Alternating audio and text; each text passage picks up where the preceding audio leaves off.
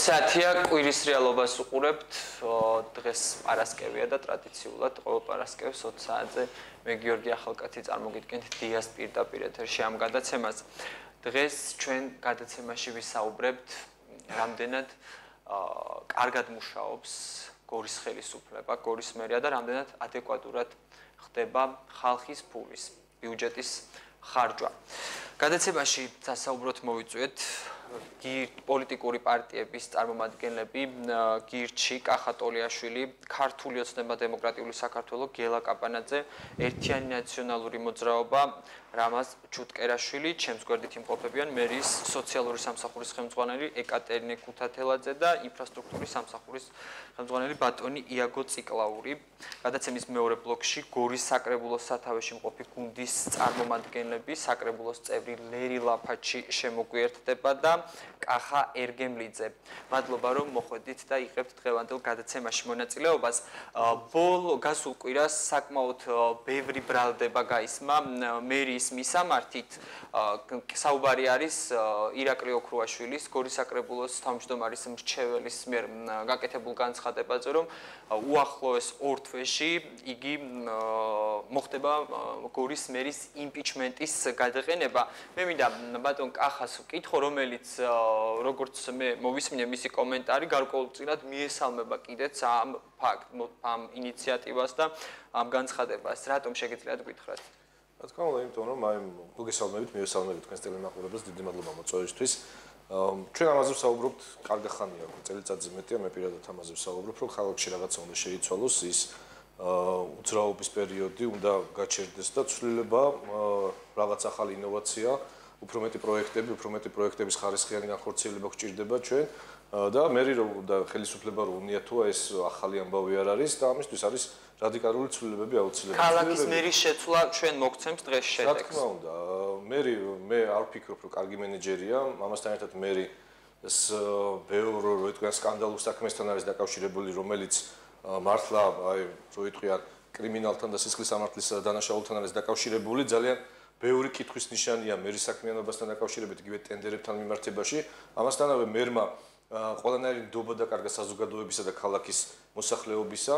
ამასთან ერთად მე მინდა ვთქვა, რომ ძალიან ბევრი პრობლემაზე რომ და იმ დაპირებაზე, რომელიც მერმა გასცა წინა საარჩევნო პერიოდში, ნამდვილად ამ დაპირებებზე არაფერი არის. აი, კონკრეტულად შეგიძლიათ გითხრათ ის დაპირებები, რომელსაც აი, ელექტროფიკაციის დასახლება, სადაც 2 წლის უკან, ან 4 წლის უკან უბრალოდ გაზიფიკაცია უნდა მოხდარიყო ელექტროფიკაციის დასახლების და კასზე მეტი ოჯახია და მე კარგად მახსოვს 4 წლის უკან ამ დასახლებამ წინა ხელისუფლებას უარი უთხრა ერთ-ერთი მიზეზი ისიც იყო რომ ამ დასახლებაში არ იყო დღემდე გაზიფიცირება მოხდენილი 4 წელი გავიდა და მე უკვე მეორე წელია საქმიანობს და ეს პრობლემა არ გადაწყვეტილა და მე პირდებოდა პირდებოდა თავის დაპირებებში ამ დასახლებას რომ გაზიფიკაცია მოხდებოდა ამ დასახლებზე ქალაქს ეკუთვნის შეულებრივად და როგორც ყველა უბანია ქალაქში გაზიფიცირებული სოფელი არ არის. ნამდვილად ელექტროფიკაციის დასახლება და იქ მაცხოვრებელი მოსახლეობა სოფელ სოფლად და რაიონში არ ცხოვრობს. იქაც ძალიან დიდი პრობლემაა გორის რაიონში გაზიფიკაცია იდენტიფიკაციასთან მიმართებაში და ანალოგიური პრობლემა ქალაქის ერთ-ერთ უბანში. და ეს ხალხი როგორც 4 წელია მოტყუებულები არიან, 2 წელია უკვე მერისგან მოტყუებულები არიან და ჩვენ თუნდე ყოველ წელს და ყოველ ბიუჯეტის განხილვის დროს აღმოვაჩენთ, რომ ეს დასახლება და ეს ხალხი არავის არ ახსოვს, და წინა საარჩევნო დაპირებები ძალიან დიდი იყო ამ ხალხის მიმართ. ამასთან ერთად მე კიდე დავამატებ გიორგი, რატომ რისიგულისთვის ბევრი უსამართლობა მოხდა ამ ქალაქში, რომელიც პირდაპირ მერს უკავშირდება ბევრი ადამიანის განთავისუფლება უკანონოდ უსამართლოდ და ამაზე სასამართლო პროცესები მიდის და მე დარწმუნებული ვარ, რომ ეს სასამართლო პროცესები ამ ადამიანების გამარჯვებით დასრულდება და მუნიციპალიტეტს და ქალაქის მერიას მოუწევს კომპენსაციების გადახდა ამ ადამიანების მიმართ, იმიტომ რომ ისინი უსამართლოდ იყვნენ გათავისუფლებული და ეს იყო თანამდებობის ბოროტად გამოყენება, რომელზეც მე არანაირ რეაგირებას არ ახდენდა და მისი ახლობლები და მისი რო იტყვიან უახლოესი მეგობრები და ნაცნობები ახორციელებდნენ ამას. კი ბატონო. მოკლებასთან დაკავშირებით მეც მინდა ჩავერთო, მოგესალმოთ. აა გადა ორი კვირის წინ დაიწყო ღია კარის დღე ქალაქის ბერმა და სწორედ ის რაც ბატონმა კახამ გდანა ელექტროფიკაციის დასახლებაში ეს პრობლემა მიკროფონში მიკროფონში ვისაუბროთ. დიახ. ორი კვირის წინ დაიწყო ქალაქის მერმა ღია კარის დღე და მისმა გუნდმა ქალაქის მერის ადმინისტრაციამ. ერთგვარი ანგარიში წარდგა ამ მრჩევლების წინაშე ბატონი ზურავი და კარგად მახსოვს მე ვესწრებოდი ამ შეხვედრას და ზუსტად ელექტრიფიკაციის დასახლების პრობლემა რაც ბრძანა ბატონმა კახამ იყო ამ შეხვედრაზე განხილული და როგორც ვიცი მე დახვდა რომ მაქსიმუმს გააკეთებდა ამ პრობლემის უახლოეს ხანაში აღმოსაფრთხებლად სხვათა შორის აღმოჩნდა ერთი საოცარი ნიუანსი, რომ ზუსტად ამ ღია კარის დღეზე დაფიქსირდა, რომ ქალაქის მერი ითხოვდა ჩართულობას მოსახლეობის და თვითოულ მათგანთან შეხვედრას და სამწუხაროდ ყველაზე დიდი დეფიციტი იმ დღეს იმ შეხვედრაზე აღმოჩნდა ქალაქის მოსახლეობის ჩართულობა, რომ უშუალოდ გაეზიარებინა და გამოეთქვა თავისი გულის ტკივილი ჩემ და გასაოცრად აღმოჩნდა რომ ქალაქის მერიის ჩინოვნიკები მე კარგი გაგებით ხმარობ ხა რა თქმა უნდა სიტყვა ჩინოვნიკს. გაცილებით მეტი იყვნენ ვიდრე ქალაქის მოსახლეობა რომ უფრო მეტად ესაუბრა ამ პრობლემებზე მეტად ყოფილიყო ჩართული და აი მახსოვს რომ ეს შეკითხვა დაისვა. ეხა ეს დეტალი მე არ მახსოვს ზუსტად როგორ იყო გადაწყვეტილი მაგრამ თვითონ არიან წარმოადგენლები ქალაქის მერის და ალბათ უკეთესად გაცემენ ამ კი ბატონო მადლობა. მივიცეთ საშუალება რომ არ გვინდა დებატების რეჟიმში გადაზრდა. ბატონო იაგო თავდაპირ პირველად დავიწყოთ უბრალოდ გამოეხმაუროთ მათ განცხადება საუბარი არის უმოქმედობაზე და ფაქტიურად ოპოზიცია ამბობს რომ ქალაქში არაფერი კეთდება ხალხისთვის სასიკეთო. თქვენ შეგიძლიათ ჩვენს მოქალაქეებს, იგივე ჩვენს სტუმრებსაც უთხრათ, რა გაკეთდა მას შემდეგ, რაც ქალაქ გორის მერი არის ბატონი ზურაბ ჯირკველიშვილი და თქვენც ალბათ. მოგესალმებით. დიდი მადლობა მოწვევისთვის. მადლობა თქვენ, მოწვევისთვის. უბრალოდ მინდა თავიდანვე შეგეკითხოთ, როგორ რეჟიმში იქნება გადაცემა პოლიტიკურ ჭრილში მიყვავს თუ ნავშოთ იმ მონაცემებით, რაც გაინტერესებს საქმიდან გამომდინარე რა კეთდება. თუ პოლიტიკური შეფასებები უნდა დავიწყოთ. ჩვენ გვაინტერესებს კონკრეტული შედეგები. ეხლა პოლიტიკური შეფასებებით დაიწყო ეს გადაცემა და თუ მასე მაშინ ამას მივწევ და დავიწყებ მეც პოლიტიკური შეფასება. არა, ჯობია რომ ჯერ საქმის მიხედა. ანუ საუბარს მეზე როგორც მეურნეზე. ვისაუბროთ სამეურნეო საქმიანობაზე მე მგონი თორე. რაც შეეხება ახლა ელექტროფიკაციის პრობლემებს რომელიც აგერი თქვა ეს პრობლემები ამ ხელისუფლების დროს არ დაწყებულა და თუნდაც აი ესეთი გუნხურვალე იმით რა ქვია შემართები 9 წელიწადი ვიტყვით ხოლმე არ უნდა ვთქვათო.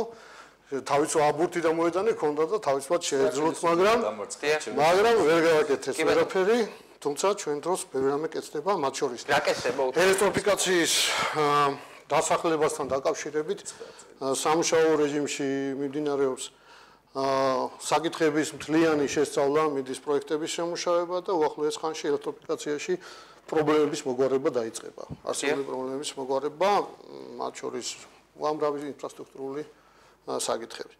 საერთოდ დავიწყოთ რა კეთდება, უამრავი რამ კეთდება. და ეს დაპირებები რომელზეც კახა ბატონი კახა საუბრობდა ანუ შეიძლება ითქვას რომ სრულად სრულდება და უკვე შესრულდა უმრავლესობა უკვე ცოტა დარჩა. ეს შემიძლია წარმოგიდგინოთ ის პროექტები რომელიც განხორციელდა. დიახ.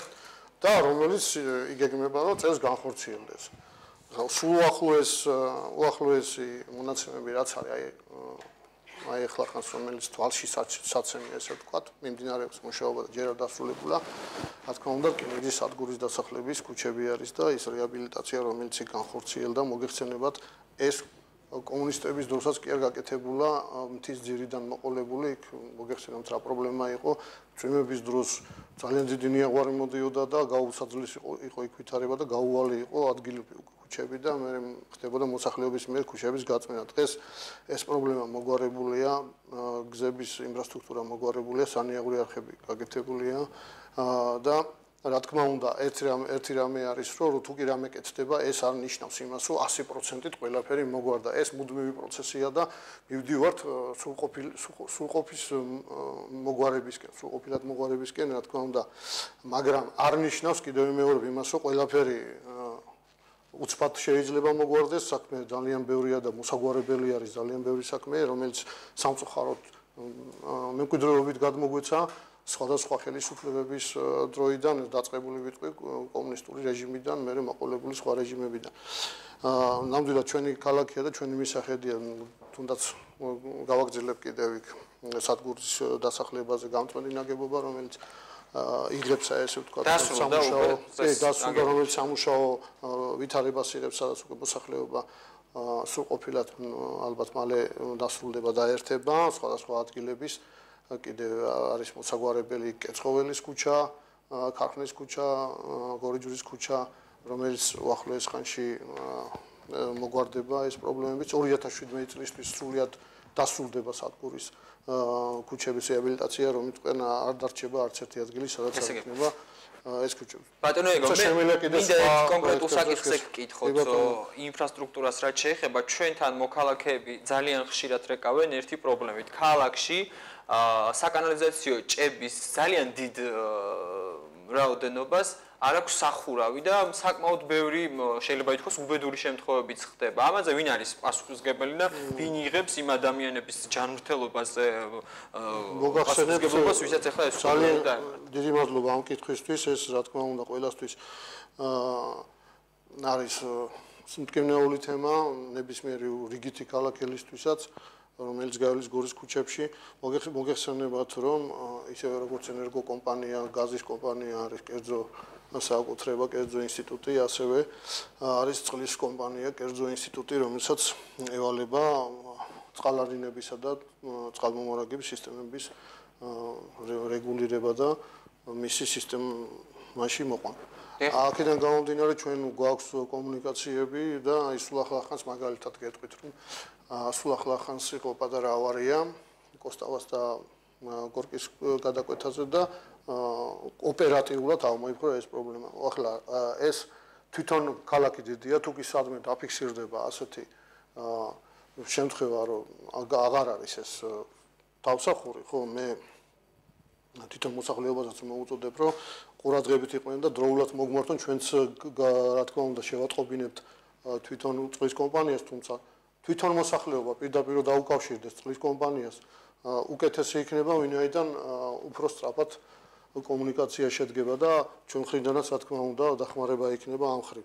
ვალდებულებიც არიან და აკეთებენ კიდევაც, რომ რასაც უყურებთ ახლა ჩვენ თუ კი რაიმე და დარღვევა სადმე, გაირღვა ეს ადგილები დაუშვა და დაზიანდა მაშინათვე, რა ვიცი ახლა მე მგონი ამის ხრი პრობლემა არის. თუ კი სადმე ეხლაც არის, აი თქვენ თქვით თუ სადმე არის ახლა. დიახ. აი ჭალის დასახლებაში მე თქვენი სახლის წინ არის ბატონო იაკო, მაგრამ ჩემი სახლის წინ არის. არა, არის მე გაჩვენებ ჩემი ზრდა კაცი. ჩემი სახლის წინ მე იქ დავდივარ და ყველაფერი იქზია. აი შეიძლება ვერ დაიწყო არის. გეუბნებით მართლა არის. აბა სადარი, რა ნუმერი გვალი გვალი ბინების წინ არის რამდენიმე ჭა. ახტილი რომელსაც არ აქვს თავსახო. გვალი ბინების წინ, ჩემ წინ ერთი ჭა არის და იმას არ აქვს ახტილი. ეხლა მაშინ გეტყვი რომ კი ბატონო ფოტოებს გამიგზავნით მაშინ. ან შენ არა მე ამ ახლის შეგეშალა ან ტყუი ხარ. არა არ ტყუი ვარ ნამდვილად თქვენი სახლიც კარგად მახსოვს. შეიძლება უბრალოდ არიცით რომ ახტილია გეუბნებით ახტილია. დაფარება გადაცემის ცელობის დროს მე ფოტოებიც მაშინ შენ ტყუი ხარ გიორგი. არ ტყუი ვარ გეუბნებით ახტილია. ტყუი ხარ შენ. არ მინდა თქვენთან პოლემიკაში. ანუ ეგრე მოგდო მე ახტილია ტყუი ხარ. ახტილია ნამდვილად ტყუი ხარ მე გამოგიგზავნე და Facebook-ზე გამოვაქვეყნებ რა აი ესე მე დავიფრო მანაშაული აი ახლა წავიდე და მანახოთ ჩემი სახლის წინ სად არის ახლა თქვენი სახლის წინ ესე შეიძლება კონკრეტულად არ არის მაგრამ უკვე გვერდზე გადავიდა გბალ ბინებთან არის ერთი ჭა რომელსაც არ აქვს ახურავი ძალიან დიდი ხანია. და არა მარტო მათ. ცოტა შორის რამდენიმე ჩემი ნაცნობიც დაზიანდა მღამის საათებში და ჩავარდა ჭაში ჭალის დასახლებაში. ამას შეგვიძლია ჭალის დასახლება დიზიანდა მე არ მინახია ესეთი დაზიანება კი ბატონო. ქალბატონეკა თქვენთან გადმოვა სოციალური კუთხითაც საკმაოდ ბევრი პრეტენზიები არის ხოლმე, თუმცა თქვენ ჩემს გადაცემაში არაერთხელ გისაუბრიათ იმ პროგრამებზე, რომელსაც გორისმერია ახორციელებს. უფრო კონკრეტულად რო გითხრათ, თქვენი ხელისუფლების პერიოდში რა სიახლეებს თავაზობს მოქალაქეებს გორისმერია სოციალური კუთხით? მოგესალმებით პირველ რიგში მე სალმები მაყურებ თქვენს მაყურებელს, ასე მადლობას მოგახსენებს მოწვევისთვის. მინდა ხაზგასმით აღვნიშნო მას შემდეგ რაც მერია შეიქმნა 2014 წლიდან დღემდე თქვათ როგორ ხდებოდა სოციალური პროგრამების და ბიუჯეტის ზრდა. 2014 წლიდან დღემდე ისარგებლა სრულად 5788 მოქალაქემ ჩვენი პროგრამის ფარგლებში და სრულად გაიხარჯა ბიუჯეტი 827438 ლარი დღემდე გულისხმობ. და შესაბამისად მაშინ როდესაც მერია შეიქმნა იყო 12 მუხლი და დღესდღეობით მერიაში არის ფუნქციონირებს 20 მუხლი და ქალაქგორის მუნიციპალიტეტის ტერიტორიაზე რეგისტრირებულ მოსახლეობას და ასევე დროებით რეგისტრირებულ დევნილ მოსახლეობას შეუძლია ისარგებლოს ჩვენი პროგრამის ფარგლებში. და ეხლა დაწვრილებით მოგახსენებთ ყველა პროგრამასთან დაკავშირებით თქვენი სნეპართვით. დავიწყებ თქვათ ონკოლოგიური ავადმყოფების სამედიცინო დახმარების პროგრამა, რომელიც ხორციელდება თქვათ მერიაში თქვათ 2010 წლიდან, მაგრამ ჩვენ შესაბამისად თქვათ გავზერდეთ თანხები ამ ხრივ და პროცენტული მაჩვენებლები თქვათ თუ იყო ადრე 50%-ით, ეხლა თქვათ მაქსიმალურ თანხას, რასაც წარმოგვიდგენს ბენეფიციარი კალკულაცია, რაც იქნება კლინიკიდან წარმოდგენილი, ჩვენ უნაზღაურებთ 100%-ით. ასევე მედი უფასო მედიკამენტებით უზრუნველყოფა, თქვა თუ სხვა შემთხვევაში იყო სამ დაავადებაზე მერიაში, ეხლა გვაქვს ექვს დაავადებაზე, აქედან სამი არის სოციალურად დაუცველი არის საჭირო, სამ შემთხვევაში არ არის თქვა ქულა საჭირო და სხვა ნებისმიერ მოქალაქეს გორში რეგისტრირებული მოქალაქე შეუძლია ის არ უფასო მედიკამენტებით უზრუნველყოფაზე და შემიძლიათ ზუსტ გითხრათ ეს რომელი დაავადებებია პარკინსონით, ეპილეფსიით, ბრონქიალური ასტრით, ჩაქრიანი დიაბეტით, გულის იშემიით და გლაუკომით დაავადებულ პაციენტებს შეუძლიათ მოგმართონ და ისარგებლონ. ასევე სამედიცინო დახმარება. მე მინდა აქვე მინდა ხაზგასმით ავრიშნო, ეს არის 2015 წლის ყველაზე წარმატებული პროექტი იმ ხრივ ერთი მარტივი მიზეზის გამო უბრალოდ სტატისტიკაც არ არსებობდა ცეჰეპატიტის, თქვათ, რამდენი ადამიანი იყო ცეჰეპატიტით დაავადებული, ცეჰეპატიტის ელიმინაციის სახელმწიფო პროგრამის ხელშეწყობით ჩვენ ხელს უწყობთ მოქალაქეებს, რომ ამ პროგრამაში იყვნენ აქტიურად ჩართულები და კვლევის თანხებს უფინანსებს მერია. არა სტატუსის, თქვათ, სოციალურად დაუცველ მოქალაქეებს 70%-ს უფინანსებს სახელმწიფო და 50%-ს მერია, ხოლო არა სტატუსის კონე მოქალაქეებს სახელმწიფო ოფინანსებს 30%-ს და 50%-ს მერია და ძალიან ბევრმა მოქალაქემ მოგვაკითხა, მაშინ როდესაც 40 კაცი იყო, თქვათ, სტატისტიკური მონაცემებით ცეჰეპატიტით დაავადებული, დღესდღეობით არის, თქვათ, ვინც მოგმართა, როდესაც ეს პროგრამა ამოქმედდა 240 ადამიანმა ისარგებლა მარტო ამ მუხლით, თქვათ, დახმარების პროგრამით. ასევე სოციალურად დაუცველი მოსახლეობის კვლევით და სამედიცინო მომსახურებით უზრუნველყოფა ამ ხრივაც, თქვათ, ჩვენ უფრო გავზარდეთ ქულები, მაშინ თუ იყო თქვა 70000 ქულამდე, 100000 ქულამდე გავზარდეთ ახლა ამ ეტაპზე, ასევე ცერებრალური და დაუნის სინდრომით დაავადებული ბავშვების რეაბილიტაცია, ასევე აქაც ასაკი ამოიღოთ, იყო 18 წლამდე. თქვა არის 12 მოქალაქე, რომელიც არის ცერებრალური დაავადებული, მაგრამ 18 წლის ზემოთ არის და თქვა იმ შემთხვევაში ისინი დახმარების მიღმა რჩებოდნენ და ჩვენ ამ შემთხვევაში შევცვალეთ და თქვა დახმარება მათაც დაუნიშნეთ. ასევე ეს მანამდეც იყო სკოლიოზით დაავადებული ბავშვების სამკურნალო რეაბილიტაციო დახმარება, სტუდენტების დახმარებაც მოგეხსენებათ იყო, მაგრამ მე უფრო ხას გაუსმევ იმ პროგრამებზე, რაც თქვა მანამდე ეს იყო რეინტეგრაციაში მყოფი ბავშვების დახმარება, ეს არის ბავშვები, რომელიც არიან მინდობით აღზრდაში, და სახელმწიფო უწყობს ხელს რომ ისინი დაბრუნდნენ თქვა რეინტეგრირებული ბავშვები თავის საკუთარ ოჯახებში აღიზარდნონ და ამ შემთხვევაში მოგეხსენებათ რომ უფრო ბავშვებისთვისაც უფრო კარგი იქნება რომ საკუთარ ოჯახებში იხსნებოდნენ და ამ შემთხვევაში 90 ლარი არის სახელმწიფოს მხრიდან და ყოველთვიურად მერია 80 ლარი დაფინანსებს ამ ბავშვებს. ასევე მინდა კითხოთ ოჯახებზე რომლებსაც არ აქვს სოციალური სოციალურად დაუცველი სტატუსი. ხო შენ ჩვენს ეთერში გავიდა რეპორტაჟი რომელიც ამირეჯიბების ოჯახზე რომელსაც ალბათ ნახე. აი კონკრეტულად ამ ოჯახის მაცნით მე. კი, გაცდი, რა როგორ გეკითხებით შესაბამისად გაცდი. 2014 წელს 228000 იყო ბიუჯეტი. 2015 წელს დაზუსტებული ბიუჯეტი იყო 595000 სოციალური უზრუნველყოფის კუთხით, სოციალურ პროგრამებში გულისხმობს 595831 ლარი და შემდეგ ბიუჯეტში როცა მოხდა თქვა თანხა დავიმატეთ, მოსახლეობის ინტერესების გათვალისწინებით რო თქვა რაღაცა მუხლებში თანხები გჭირდებოდა მეტად და პროგრამებიც გავზარდეთ და დავამატეთ. ამ შემთხვევაში 613831 ლარი. დღესდღეობით არის 700000 ლარზე მეტი ბიუჯეტში უკვე თანხა და შესაბამისად ჩვენ გეგმავთ ბიუჯეტში თანხის გაზდას ეს მოგახსენებთ რატომაც არის თქვა ეს გასაზღვრული იმიტომ რომ ჩვენ ფიქრობთ ასოცირების ხელშეკრულების ხელმოწერის შემდგომ ქვეყანაში ევროკავშირმა უნდა განახორციელოს დასაქმების პრობლემები და ერთ-ერთი მთავარი პირობა ასოცირების ხელშეკრულების არის ის რომ ციგარების დონე შეგვეყანაში უნდა შემცირდეს. ციგარების დონე სხვა შემთხვევაში ვერ შემცირდება თუ არ დასაქმდება ხალხი.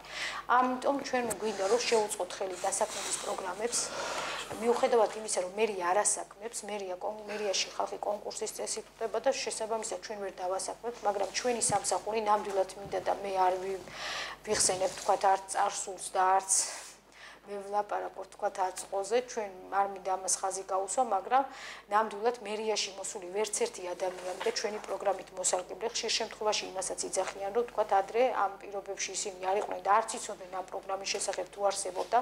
ან თუ თქვა როდესაც მოდის მოქალაქე და ჩვენ თქვათ ჩვენ არა გვაქვს თქვათ ვერ დავასაქმებთ ვერც ერთ მოქალაქეს ჩვენ გვაქვს მაქსიმალური ინფორმაცია მიგრაციის საერთაშორისო ორგანიზაციასთან ჩვენ გვაქვს ჭიდრო კავშირი, შესაბამისად ისინი გვაწვიან ვაკანსიებს, ჩვენ ვაწვით მოსახლეობას ინფორმაციას ამ ვაკანსიებთან დაკავშირებით, ასევე პროგრამა, რომელიც თან დაკავშირებითაც გვინდა რომ ბიუჯეტში თანხები გავზარდოთ, ეს არის დასაქმების პროგრამა, რომელიც ესპანური მეთოდოლოგია არის, ესპანეთში განხორციელდა ეს პროგრამა და ამ პროგრამაში მონაწილე 61% დასაქმდა, ვინც იმონაწილეა. ეს არის დასაქმების პროგრამა, რომელსაც ახლა ჩვენ ასოციაციას ამხარებ მომავალ მომავალი საქართველოს ესეთი ორგანიზაცია და ევროკავშირის დაფინანსებით ხდება. ეს ყოველივე და ჩვენი მხრიდან მოხდება თანადაფინანსება. ჩვენ გვინდა ხელი შეუწყოთ ჩვენ მოქალაქეებს რომ ისინი დასაქმდნენ და რათა ვთქვათ რაოდენელი შრომის ბაზარზე რაც მოთხოვნადი არის იმ პროფესიების მიხედვით გადამზადდნენ ხუთიანი გაიარო ხუთიანი კურსები და შემდეგ შესაბამისად ეს ორგანიზაცია უწევს შუამდგომლობებს ამა თუ იმ კომპანიაში ამ მოქალაქეებს და არაერთი ადამიანი დასაქმდა ამ ხრივ და ჩვენ გვინდა რომ ეს პროექტი განვახორციელოთ მომავალ ოთხშაბათს უკვე ჩვენ გვექნება შეხვედრა ჯერ სამუშაო შეხვედრა გქონდა და გვინდა რომ ამ ხრივ მოქალაქეებს დავეხმაროთ და მეტნაკლებად გადავწყვეტოთ მათი პრობლემები. მე არ ვიცახი, რომ ეხლა ყველაფერი რაღაცა იდეალურად და ჩვენ შვეიცარიაში ვცხოვრობთ, მაგრამ მე ჩვენ მაქსიმალურად ვცდილობთ იმას, რომ ყველა მოხალხე, რომელიც მერიაში შემოდის, გვინდა რომ დავაკვალიანოთ, თუ რაიმე სახელმწიფო პროგრამა არსებობს, თქვათ გადავამისამართოთ შესაბამისად, ან სოციალურ სამსახურში, ან ჩვენ თვითონ აუხსნათ და მაქსიმალურად აი დღესაც ჩემთვის თავარი არის ის რომ რამოდენიმე მოქალაქე იყო რომელიც თვითონ მადლობასაც კი გადაგვიხადა რომ რომ ესე გულისხმიერად ვეკიდებით ნებისმიერ ადამიანის დიდი მადლობა. ბატონ რამას სურდა თქვენ აი საკმაოდ კარგ პროექტებზე ისაუბრა ქალბატონმაც და ბატონმაც. რა შენიშვნები გაქვთ აი ამ არა კითხვა მაქვს. მოგესალმებით პირველ რიგში მივესალმებით თქვენ სტუმრებს ტელემაყურებელს მადლობა მოწვევისთვის მე პირველად თავად თქვენ სტუდიაში და წარმატებები გისურვოთ მე მინდა ჩემი პატივისცემა დაუდასტურო აღნიშნულ პიროვნებებს და საერთოდ ჩორსავარი იმას რისგან რომ ვიღაცასთან პიროვნული რაღაც დაპირისპირება მქონდეს ჩვენ ისეთივე პატივისცემები დავრჩებით ერთმანეთსა როგორც აქამდე ვიყავით მაგრამ მე მაგ ბატონი აგოსთან კითხო ბატონი აგოს შარშან მე მგონი ბატონი კახაც ესწრებოდა იმ გადაცემას საუბარი იყო ხელოვნურ საფარიან სტადიონებზე მოედნებზე მინი მოედნებზე რომელიც სავალალო მდგომარეობაშია დღეს ეს არა მარტო არა ამახინჯებს ქალაქის იერსახეს არამედ საფრთხეს წარმოადგენს უკვე ბავშვებისთვის და გასულ წელს მე მგონი შალვატრაშაძე იყო მოსული თუ არ ვცდები. პირობა მოგცა რომ ამას ჩვენ აუცილებლად მივაკეთებთო და ეს პროექტი ისევ და ეს სტადიონები ისევ იმავე მდგომარეობაში. აი რასაპირებთ ბატონო ეგო ამასთან დაკავშირებით. მეორე საკითხი საცურაო აუს დაადგება თუ არა საშველი და მაგის რეაბილიტაცია მოხდება თუ არა. მესამე კითხვა მაქვს ასეთი. ქალაქის ცენტრში აგერ წმინდა წყალზე მესმის რომ ეს არ არის თქვენ ბალას ეს შენობა მე ვსაუბრობ ყოფილი საბატყოფო შენობაზე რომელიც მართლა რო შეხედო იტყვი ბომბი დაეცაო და რაღაც საშინელება მოხდაო რამდენი ხანი უნდა იყოს ესე? ან თუ რამე ღონისძიება გაატარეთ რომ ან ცენტრალურ ხელისუფლებას ან ტოლთა და განსახლების სამინისტროს თუ ჩააყენეთ საქმის კუში რომ როგორ ნაირ აღონისძიებას ატარებთ. და ერთი კიდევ ძალიან აი პატარა კითხვა მაქვს თქვენთან. მე თქვენ გადაცემაში ახლა წეგან სანამ წამოვიდოდი ერთ-ერთ სიუჟეტში მოვისმინე რომ იქ რომელაშვილების ქუჩაზე და თამარ მეფის კვეთაზე ძალიან საავარიო სიტუაციები იქნებაო და მოსახლეობა ითხოვს სიჩქარის შემზღუდავი ბარიერის დაყენებას. ეგრეთ წოდებულ ბუგაროკებს. და მე მოვისმინე რაზმაძის განცხადება ეს მგონი ვიცემერია თქვენთან ხომ ასეთი რამე განაცხადა რომ ჩვენ ბიუჯეტში ფული არ აქვს მე ძალიან მარტივი დასკვნა გამოვიტანე. ამ პიროვნებას საერთოდ ამ ბიუჯეტი არ აქვს წაკითხული და გორის ბიუჯეტი ჩახედილი არ არის ან ელემენტარულად სრულობს მე უფრო პირველ შეფასებისგან ვიხრები იმიტომ თქვენ ესთან ხა ბიუჯეტში გააქვთ აქ 25 ასეთი ბუგაროკის კეთილის სამუშაოების თანხა გაწერილი 10000 ლარი. ანუ აქედან გამომდინარე ერთი ბუგაროკის გაკეთება ჯდება 400 ლარი. მით უმეტეს გასულ წელს საპატრულო პოლიციას მიუწია თანხმობა გაკეთების. ეხლა აი ელემენტარული კითხვა ისმის 400 ლარის გულისთვის ვიცემერი აცხადებს რომ ბიუჯეტში თანხა ეთანხმებით ამ განცხადებას. 400 ლარი გულისთვის აცხადებს რომ ბიუჯეტში თანხა არ აქვს და აი თუ ეთანხმებით ამას. მოხსენეთ. აა პირველ რიგში ბატონო გიორგი დიდი მადლობა ასეთი გადაცემისთვის და ჩემი კეთილი რჩევა იქნება თუ სადმე ნახავთ ესეთ დაზიანებას როგორც წეგან მითხარით თქვენ თვითონაც შეატყობინოთ თუ ჯობია შესაბამის სამსახურს. აუცილებლად შევატყობინებ. მე უბრალოდ წყალკანალის როდესაც შევატყობ, მე კერძოდ ვესაუბრე მერის წარმომადგენელს და მითხრა რომ წყალკანალს ეკუთვნო და დღეს ვესაუბრე ამ საკითხთან დაკავშირებით. მე მე ძალიან იშვიათად მიწევს ფეხით სიარული და შესაბამისად როდესაც დავინახე როდის შესაბამისად როდის გაიგეთ რომ წყალკანას ეკუთვნოდა? დღეს გავიგე. აქამდე არ უნდა გწოდნოდა? არ ვიცოდი, არ მქონია. წამყვანი ბრძანდები ჟურნალისტი. თქვენ სახლის წინ არის და გწოდნან და უნდა გწოდნო, ქალაქში უნდა იცოდეთ, გაგონო მე არ გასწავლით, მაგრამ უნდა იცოდეს აა, უნდა იცოდეთ, როცა ჟურნალისტი ხართ, სამსახურები რას წარმოადგენენ და რას ბოდი შე არ ვიცი ნამდვილად და არც ვარ ვალდებული რომ ვიცოდე აა, შემდეგ სახურავი ვის კარგით, გავაგზავნოთ აა, საუბარი. რა თქმა უნდა, ამ კითხვებზე პასუხს გავცემ. აა, თუ მე მომეცემა საშუალება ბატონო გიორგი, რაც არის დაგეგმილი, ის მაინც ვთქვათ მე, რომ რა პროექტები დაგეგმილი. აა, სტადიონებთან დაკავშირებით მინი სტადიონები ნამდვილად სულ ყველამ ვიცით, რომ სავალალო მდგომარეობაშია და სწორედაც სწორედ ამიტომაც ამიტომაც შეიქმნა პროექტი ჩვენთან აა, 18 მინი სტადიონის რეაბილიტაციაზე. აა, როდესაც სამუშაოები მიმდინარეობდა, საპროექტო სამუშაოები, შემდეგ აქედან აა, გამო 10 სტადიონი გამოიყო აა, სოფლიო ბანკის მოთხოვნით და თანამედროვე სტანდარტების მინი სტადიონების სარეაბილიტაციო სამუშაოების დასაგეგმად გარკვეული დრო დაემატა და ამჟამად უახლოვდება უკვე ფინიშის პროექტები, რომლებიც ასე ვთქვათ საკმაოდ თანამედროვე იქნება ეს 10 სტადიონი. ხოლო რაც შეეხება ამ 8 მინიმოედნებს, 8 მინიმოედანს, ამას ადგილობრივი ძალებით შემდგომში შევეჭიდები და ამასაც მოაგვარებთ. ნამდვილად სავალალო მდგომარეობა არის. ეს აა, მე შემიძლია გითხრათ, ეს 10 სტადიონი, რომელიც 10 მინი სტადიონი, რომელიც დაგეგმილია ეს თანამედროვე აა, ინფრასტრუქტურის მოწყობა. ეს არის ელიოზი- ელიოზიშვილის ქუჩის მიმდებარედ, გორკის ქუჩის მიმდებარედ, ყიფიანის აა, ქუჩა 56-ის მიმდებარედ, ბესიკის ქუჩის მიმდებარედ, ვერხვების ტოლთა ჩასახლების მიმდებარედ, უფლისციხის ქუჩა 42-ის მიმდებარედ, შინდის გზატკეცილის 3-ის მიმდებარედ, სუხიშვილის 57-ის მიმდებარედ, სუხიშვილის 10-ის მიმდებარედ, შინდის გზატკეცილის 38-ის მიმდებარედ. დანარჩენი 8 მინი მოედანი ასევე მალე მოეწყობა აი ამის პარალელურად ამის სარეაბილიტო სამუშაოებისთვის საპროექტო სამუშაოები გრიგოლ ფერაძის ქუჩის მიმდებარედ, ყიფიანის ქუჩის მიმდებარედ, გორგასლის ქუჩის მიმდებარედ, თამანობის მეხუთე კვარტალში, შინდის გზატკეცილის მიმდებარედ, შინდის გზატკეცილი 4-ის მიმდებარედ, ვოლოგდის დასახლების გადასახლებთან, გორგასლის ქუჩა 5-ის მიმდებარედ. ეს არის 18 სტადიონი, 18 მინიმოედანი, რომელიც ნამდვილად საჭიროებს რეაბილიტაციას და არა მარტო ანუ წელს აპირებთ მაგის გაკეთებას? წელს წელს იგეგმება სწორედ აი ეს 10 თანხა საიდან უნდა აიღოთ? 10 აა, ეს თანხები ბიუჯეტში არ გიჩანთ იმ ძველი სტადიონების ბანკის ბანკიდან გამომდინარე ეს არ არის ადგილობრივი დაფინანსებით. ვიძახი იმ სტადიონებზე რომელიც სავალალო მდგომარეობაში შედის მაგ პროგრამაში რო- აა, თუ რომელიც ცალკე გამოყოფილია. აი ეს ჩვენ რომელიც უნდა გავაკეთოთ ის რო სტადიონი არა ძველს გეუბნებით ხელოვნურ საფარიანს რომელიც წინა ხელისუფლების პერიოდში ხო, ეს ეს გაკეთდა და ყველა ხელოვნურ საფარიანები. ხელოვნურ საფარ რომელიც ამჟამად არის. კი კი აი ისინი რომელიც რეაბილიტაციას ექვემდებარება მაგის თანხები მაინტერესებს. წელს თუ გაკეთდება ეგ რო- აი ეს როდენები 10 და თანხებს საიდან იღებს 10 მინიმოედანი გაკეთდება რომელსაც თანხებს თანხებს ვიღებთ ცენტრალური ბიუჯეტიდან. ანუ ეს სტადიონები შედის კი ეს 10 კი, ბატონო. მინიმოედანი შედის და დასრულდება ამის რეაბილიტაცია მალე ეხლა დასრულდება ძალიან მალე დასრულდება პროექტები და გამოცხადება საერთაშორისო ტენდერი სპორტშორის და აა შემდეგ დასრულდება ველოდებით რომ მალე მოგვარდეს ეს პრობლემები.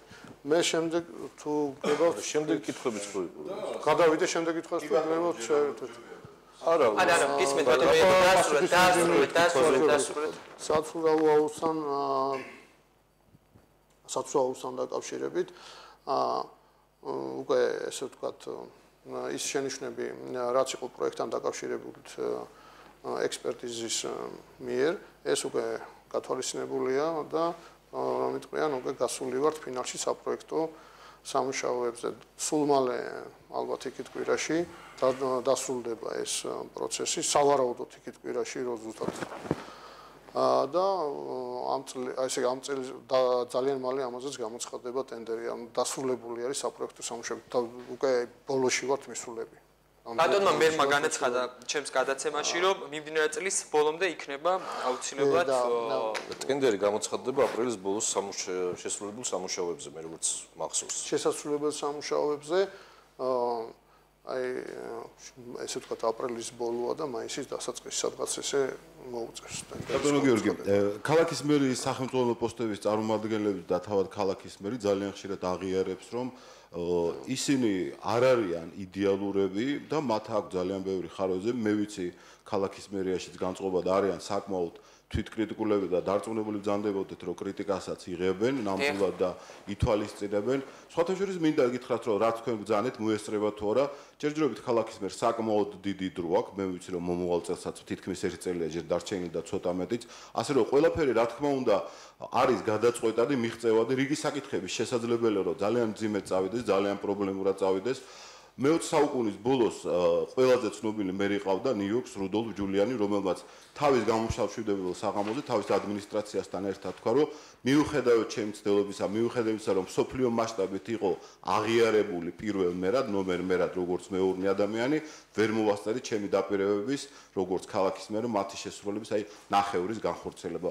ასე რომ ეს არის ბუნებრივად ის პროცესი, ის ძიების და მინდა გითხრათ, რომ ქალაქის მერიასაც და ზოგადად მის აღატებულება ამორჩეველსაც შორის სამწუხაროდ გას ცხოვრება, რომელსაც შემოაქვს თავისი კორექტივები, თავისი ნიუანსები და ძალიან ხშირად ხდება ამოვლენების გათვალისწინება. ბატონო გენლა, თქვენ როგორც მართველი გუნდის წარმომადგენელი, როგორ ფიქრობთ, რა ქმნის საზოგადოებაში გარკვეულწილად ნეგატიურ განწყობას, მაშინ როდესაც ადამიანებმა ისაუბრეს საკმაოდ ბევრ პროექტზე და თქვეს რომ იგივე ეს პროექტები მიმდინარეობის პროცესში არის.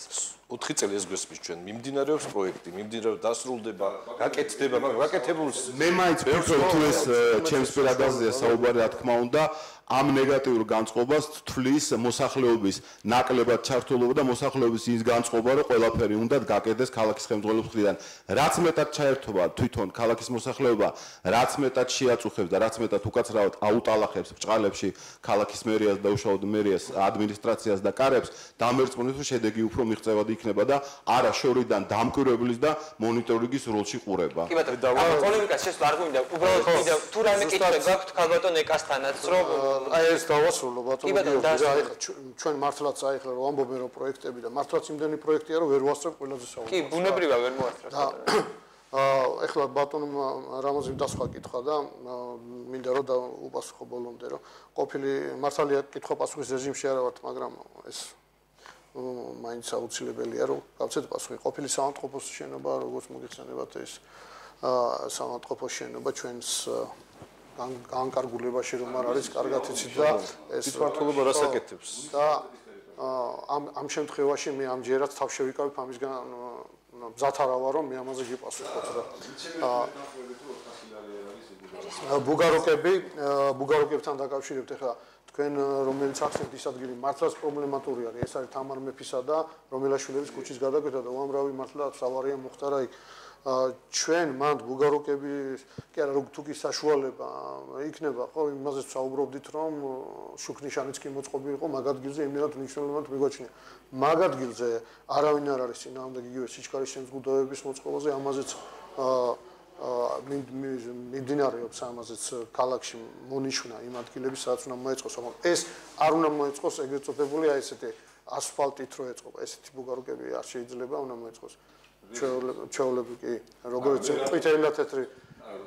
მე რატო აღნიშნე იცი თქვენ 10000 ლარი გიწერიათ აქ პროგრამულ პროექტებში რომ 10000 ლარი გამოიყოფა 25 აი ესეთი წინაღობის შესაქმნელად. წერია განმარტებით ვარაჩი წერია ეგ.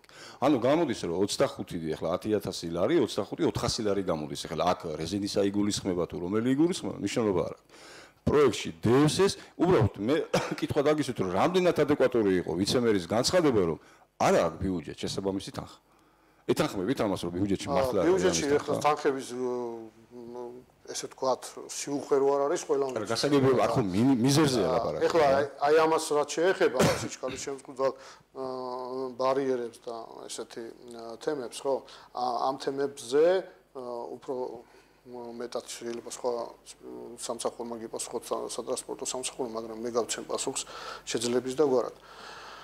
რა თქმა უნდა ეხლა ეს 400 ლარი ეგ არავის არ უთქია რომ 400 ლარი ჯდება ეს არა, ეს მარტივი გათვლით გამოდის ეგ. გასაგებია. გითხავთ, განმარტებით ბარი. კი, აი, გასაგებია ეს. ეს სიჩქარის შემზღუდავი ბარიერის მოწყობა 10000 ლარი. 25 გასაგებია 10000 ლარი, მაგრამ ეს არის საწყისი თანხა, რომელიც ეს არის საწყისი თანხა, რომელიც რომელიც არ არის საკმარისი გასაგებია. მოიმატებს. ერთი კითხვა ერთი კითხვა რა ძალიან დიდ ბუდის მოიხდი გავისვია ჩვენ ერთი რაღაცის განმარტება მაგრამ ვიცით რო არ არის მაგრამ ზის მუქში და რომელიც შემდგომში შეიძლება რაღაცა ეკონომიის ხარჯზე ის გაიზარდოს ეს თანხა და მოეწყოს. ერთი კითხვა მაგდა დავასრულებ ამით რა.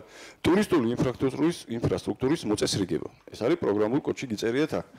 ქვეპროგრამის ფარგლებში დაგეგმილია ქალაგორის მუნიციპალიტეტის ტერიტორიაზე ტურისტული ინფრასტრუქტურული კომპლექსის მოწყობა სველი წერტილებით, შემნახველი საყნებით და სხვა.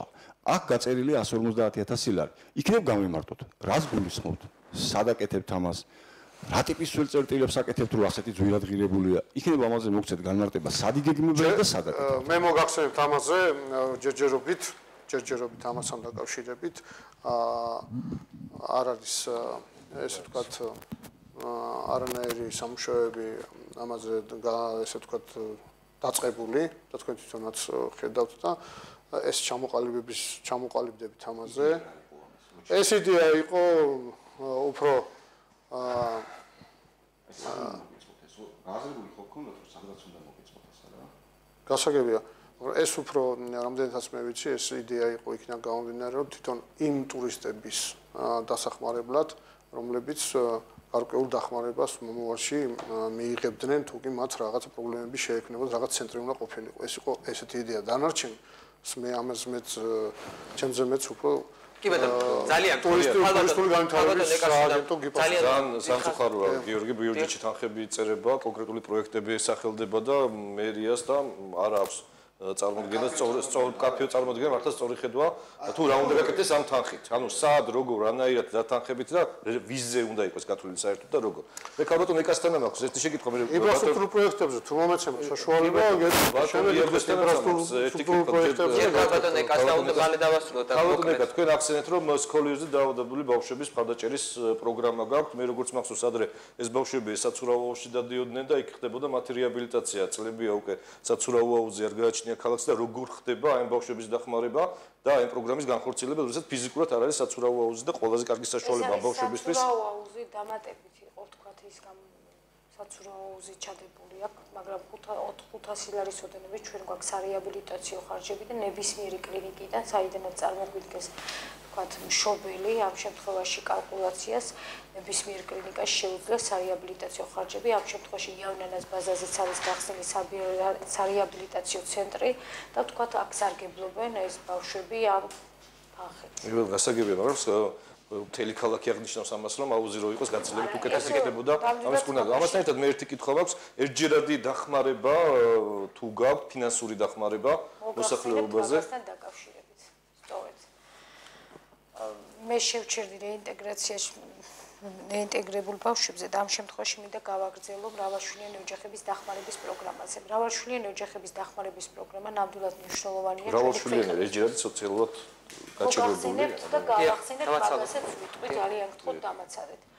მრავალშვილიანი ოჯახებთან დაკავშირებით მინდა აღვნიშნო რომ თქვათ მაშინ მე ვსაუბრობ მაშინ რაც მერია შეიქმნა იმ დროიდან 36 მოქალაქე იყო ვინც ისარგებლა ამ პროგრამის ფარგლებში იმიტომ რომ იყო 5 და მეტი შვილიანი ოჯახების დახმარების პროგრამა და მას შემდეგ რაც მერია შეიქმნა 4 და მეტი შვილიანი ოჯახების დახმარების პროგრამა მას შემდეგ მოხდა და ამ შემთხვევაში ამ ეტაპზე არის 79 ოჯახი ვინც ესარგებლა ჩვენი დახმარების პროგრამით. მათ შორის მინდა აღვნიშნო რომ შესაძლებელია რომ ჩვენ თქვა სხვადასხვა სადღესასწაულო დღეებზე ეს იქნება ახალი წელი 8 მარტი ამ ოჯახებს ვინც არის ყველაზე გაჭირვებული კარგია რომ 80-ზე იყოს, მაგრამ ამ ეტაპზე ბიუჯეტი მაგის საშუალებას არ გვაძლევს.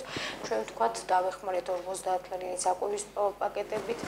ახალ წელს ყველაზე გაჭირვებულები ვინც იყვნენ და თქვენი წარმომადგენლებიც იყვნენ მაშინ და რომ ამარცათ, ვთქვათ, ამ ოჯახის მრავალშვილიან დედებს. ასევე მე მინდა ერთჯერად დახმარებაზე გავჩერდე, რაც ბატონო თქვენი სახელი. ბატონმა გახამბძანა.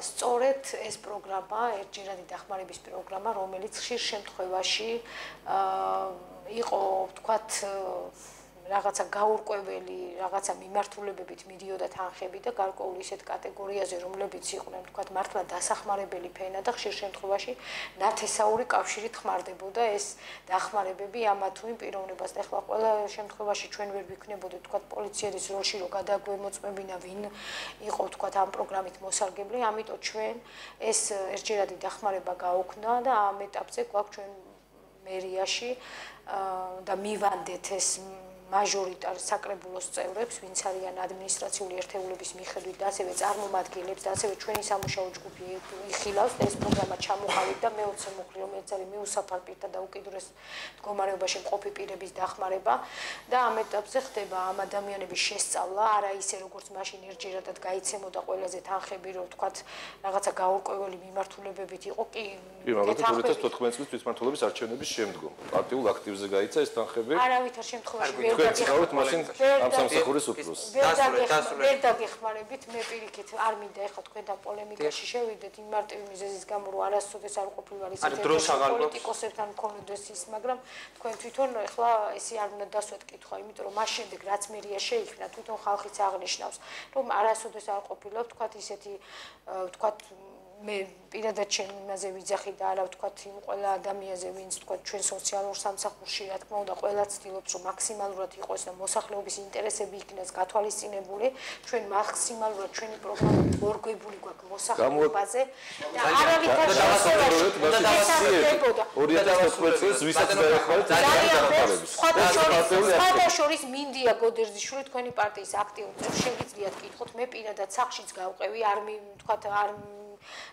მithქვია და მომიძებნია ის მიზეზად რომ ნაციონალური მოძრაობის აქტიური წევრი იყო ჩემთვის განურჩევლად ნებისმიერი მოქალაქე ამ შემთხვევაში მერიაში ვინც მოგვაკითხავს პარტიული ნიშნით განსხვავებით მე არ განმისხვავებია მივედი და თქვა დავეხმარე მინდიას მიერ თქვა ვინც იყო მოწოდებული ის ბენეფიციარი დახმარებაც გაუწიეთ და არანაირი შეფერხება არ ქონია და მოგახსენებთ ამასთან დაკავშირებით მინდია და ძალიან გთხოვთ არ გინდათ ეხლა წარსულ დროზე საუბარი თორემ მე შემიძლია ძალიან ბევრი რაღაც ისე თქვა არა უნდა დავასრულოთ შეგებით მეორე ბლოკშიც და შეგიძლიათ ვისაუბროთ ძალიან წუთი მაინც მომეწონა ძალიან წუთი ვერ მოგცემ ძალიან მოკლედ უნდა ჩამოვაყალიბოთ 15 წუთია დარჩენილი და რატო? 15 წუთი არა 1 საათი არა კონდა ბატონია გადავაჭარბეთ. ძალიან მოგვიყვება 1 წუთით რა მე აუცილებლად უნდა შევეხო იმ პროექტებს რომლებიც უნდა განვითარდეს რა თქმა უნდა ჩვენ გვაინტერესებს ხო რა უნდა გაკეთდეს კალაქში წლევანდელ წელს. გასაგებია ბატონო მოკლედ ბატონო იაკო ძელი სიტყვა მოკლედ ითქვა მე მინდა აუცილებლად აღნიშნო იმ კლუბების შესახებ და იმ მოქალაქეებთან ურთიერთობის შესახებ რომელსაც ჩვენი წარმომადგენლები სისტემატურად ეწევიან ამისათვის დაწესდა ყველა ოთხშაბათს 11 საათზე შეხვედრა ჩართულობის ცენტრში ჩვენი სამსახურის წარმომადგენლების ამიტომაც მოეწყო ეწყობა ლაივ სტრიმები პირდაპირ ეთერში. აი ლაივ სტრიმზე მინდა კითხოთ. ეს ეფექტიანია თქვენ ერთი წუთი დროს ნომაკარგვინებთ. აა პროექტებზე მინდა შევეხო. რა თქმა უნდა, რკინიგზის ქუჩებზე რომელიც ეგან თქვი რომ 2017 წელს სრულიად დასრულდება, მე მინდა საფეხმავლო სივრცეებს შევეხო, სადაც 9 ქუჩა ამ ეტაპზე 9 ქუჩა გაკეთდება. ეს არის სადღაც აა 10200 კვადრატი კვადრატული მეტრი ეს არის აღმაშენებლის გამზირი, ჭავჭავაძის გამზირი, შვიდობის გამზირი, სტალინის გამზირი, ცაბაძის ქუჩა, სუხიშვილის ქუჩა, სამეფოს ქუჩა, თამარ მეფის ქუჩა და ახალი ხიდი მტკვარზე. აა შემდეგ მინდა გითხრათ რომ ეს თამარ მეფის ქუჩის რეაბილიტაცია, რომელიც სულ მალე დაიწყება, ეს არის სტალინის გამზირიდან გურამიშვილის ქუჩამდე. შემდეგ მინდა გითხრათ 116 корпуსში რეაბილიტაცია მოეწყობა წყალმომარაგებისა და კანალიზაციის საერთო სარგებლობის ქსელებს, ქსელებს კომბინატის დასახლებაში. აა თითქმის корпуსი არ დარჩება, რო არ მოეწყოს. ქალაქგორში მირზაგელოვანის, იოსებ ნონაშვილის ქუჩების და თელავის ქუჩის აა მირზაგელოვანის ქუჩიდან ღაბარავლის ქუჩამდე მონაკვეთის რეაბილიტაცია. გურამიშვილის ქუჩის რეაბილიტაცია თამარ მეფის ქუჩიდან სამეფო ქუჩის მონაკვეთის ეს არის ყოფილი ეროვნული ბანკის მხარეს რო გამოდის ცირკიდან ყოფილი ცირკიდან რო გამოდის ის გზა. შემდეგ ირაკლი აბრამაშვილის ქუჩა რომელიც ჩამოდის ჭავჭავაძის ქუჩაზე, კოსტავას ქუჩიდან ჭავჭავაძის ქუჩაზე. ეს ეს ეს ესენია დაგეგმილი წლევანდელ წელს ეს არის რეკფონდებიდან. რეკფონდებიდან. გარდა ამისა ჩვენ გვაქვს ადგილობრივი ფონდიდან პროექტები რომელიც განხორციელდება ეს არის გოგებაშვილის ქუჩა რომელიც ეხლა უკვე დაწყებულია და მუშაობა მიმდინარეობს. ეს არის კახნიაშვილის ქუჩიდან პუშკინის ქუჩის ქუჩამდე რომ მიდის ეს ბეჯუდის სანაპირო ეგ ქუჩა. ასევე ქეთევან წამებულის ქუჩა რომელიც ეს გელდიაშვილის ქუჩიდან აღმაშენებლის გამზირეს დაუკავშირდება რომელიც უკვე ნახევარზე მეტია უკვე გადატრილია და ინტენსიურად მიდის მუშაობა. სუხიშვილის ქუჩაზე სანიაღვრე არხი კეთდება იმისათვის რომ უხვინალექების დროს თუ დაგვირებული ხართ ქალაქიდან რომ გავდივარ დიდი გუბედგება და სააგენტოსთან იქ მართვის მოწესრიგება აი ეს რომ გაწოვილი იქნას და ჩავიდეს დინარე ტორტლაში ეს მშენებლობა არის დაგეგმილი. გარდა ამისა უამრავი პროექტი უამრავი გასა ეს რავადებში რაც ჩამოთვალეთ ესენი ესენი ახლა დაიწყება ესო ახლა რაც გითხარით დაწყებული ხო არის ქეთევან წამებულზე და გოგებაშვილზე. სულ მალე თამარ მეფის ქუჩაზე დაიწყება. და იგივე სოხიშვილის სანიაღური არქი დაიწყება სულ მალე და ასევე ყოფილი ცირკის შენობიდან ტყვის ნაპირზე იქამდე ეროვნული ბანკი რო ხა სადაც წყალკანალის ოფისი არის და ასევე რა თქმა უნდა მოსახლეობას ძალიან აინტერესებს თანადაფინანსებების პროგრამა, რომლითაც თანადაფინანსებით корпуსების კეთილმოწყობა ხდება, ესე ვთქვათ, კეთილმოწყობა იმ ხრივ, რომ ინფრასტრუქტურა გამოიმართოს. ეს გრძელდება ეს პროგრამა. გრძელდება კი 2015 წელს ვიცით რომ კარგად იმუშავა ამ პროექტმა და 2016 350000 დაიხარჯა, ეს 470000 კოდში დაიხარჯა 2000 15 წელს და შესაბამისად 4000 ისა 440 1000 წელიწადს წელსაც ესეა გათვალისწინებული 270000 ბინათ მესაკუთრეებზე და არეგისტრირებულ კავშირებზე 70000 მოსახლეობა და 100% და მოსახლეობა მათ შორის სოციალურ დაუცველი ოჯახებზე 100% იქნება დაფინანსება. აქ მინდა აღნიშნო 90%-ს ადგილობრივი ბიუჯეტი ფარავს ხარჯებს და 10% თვითონ ამხანაგობები და აი სწორად აღნიშნა კალატონო ეკამ რომ სოციალურ დაუცველებზე 100% ڕۆژی پارێبە და უნდა აღნიშნოს რომ ეს პროექტი ამ პროექტზე ყოველ დღე შემოდის განცხადებები და ყოველ დღე მოდის ძალიან ძალიან მოკლედ. მინდა დავამატო და აღნიშნო, თქვათ ადრე იყო ესეთი პრაქტიკა, რომ მერიაში თქვათ ვიც მოვიდო და ის მოქალაქე იღებდა დახმარებებს. ეს ნამდვილად რაღაც უსამართლობის ნობას უსამართლობა იყო ნამდვილად და ამიტომ ჩვენ ესეთი პროგრამა აქვს, თქვათ, რომელიც 2015 წლიდან სრულდება, ციღალების ზღვარსმყოფი პირების კომუნალური თანხით დახმარება. თქვათ 1471 კაცს გაეწია შარშან ამ ხრივ დახმარება კომუნალური თანხის, ეს საბედნიეროდ 1000 ადამიანია, ვინც მიიღო ეს დახმარება შემცირდა რიცხვი, მაგრამ სულადობის მიხედვით გაიზარდა ეს მარტოხელების შემცირდა ამ შემთხვევაში სოციალურად დაუცველების რიცხვი და 1000 ადამიანს გაეწია დახმარება. 60 ლარია 65000 ლარია ამში გამოყოფილი რომ კომუნალურის თანხა ვთქვათ ჩვენი მხრიდან. ბიუჯეტი რამდენია? ამჟამად თქვენი სამსახური? ამჟამად ძალიან ძალიან ცივი და ამჟამად 2017 წლისთვის აი პირადად 75000 ლარი და საერთოდ დავალებებს ერთად ბატონ რამას? სამების ქუჩა. ძალიან ეგ არის 10000 მანდარის გამოკლებული ვთქვათ, მიცვალებულთა სარიტუალო მომსახურება, რომელიც ცენტრალიზებულია. სულ თლიანად ქალბატონო ეკახეთ. ხელში მიჭირავს თქვენი ხელში მიჭირავს თქვენი ბიუჯეტი ხარ. ხო ის ვარ ლაპარაკობთ, აგერე მაქვს თქვენი გასაგებია. გასაგებია, გულწრფელად 2017 წელს ტექნიკურ დავალებაზე ამჟამად მუშაობთ 2017 წელს რომ განხორციელდეს, ანუ პროექტებზე მუშაობთ კიდე, რომ ეს არის სამების ქუჩა, გურამიშვილის ქუჩა, ჭავჭავაძის გამზირიდან თამარ მეფის კვეთამდე გვაქვს კინოს სადგურში საბავშვო ბაღის მშენებლობა, რომელზეც ერთი წუთი თუ შეიძლება რკინიგზის სადგურის დასახლება საბავშვო ბაღის მშენებლობის საპროექტო დავალებაზე მუშაობთ. ელექტროფიკაციის დასახლებაში ქუჩათა ქსელისა და სანიაღვრე არხების ჩამოყალიბების დავალებაზე მოსკოვის ქუჩის რეაბილიტაციაზე ჭავჭავაძის ციხის რეაბილიტაციაზე. მიუხედავად იმისა მიუხედავად ამისა მე არ მინდა როგერდია უარო იმას რომ რაც 2015 წელს გაკეთა ეს საბავშვო ბაღები პლუს სამხატვრო სკოლა ქუჩები წმინაწყალზე და ალბათ უკვე ხალხი ხედავს რაც გაკეთდა. და რაც კიდე ბევრი დამჩა საფრთხელი. მადლობა რომ გზადით ქალბატონი ეკა ქუთათელაძე, ბატონია გოციკნაური უნდა გავაცილოთ რამდენიმე წუთში შემოგერთებით სხვა სტუმრებთან ერთად. აა კახატოლიაშვილი, გელა კაპანაძე და ნაციონალური მოძრაობის წარმომადგენელი რამაზ ჩუტკერაშვილი რჩებიან ჩვენთან სტუდიაში და გავაგრძელებთ დისკუსიას.